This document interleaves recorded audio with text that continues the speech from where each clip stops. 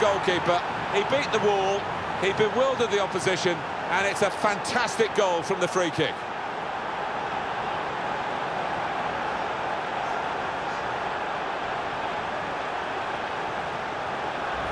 I think the keeper thought he was going to have this covered, but he's hit it with such pace and a bit of swerve too to find the left side.